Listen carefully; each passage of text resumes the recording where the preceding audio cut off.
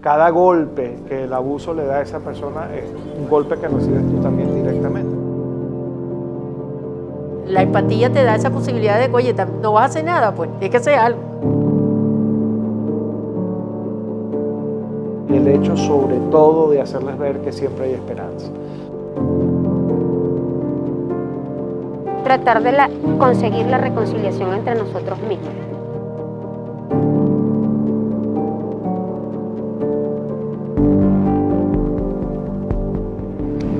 Quiero que, digamos, que mi trabajo tenga alguna repercusión sobre la vida de las personas. Entonces siempre es como...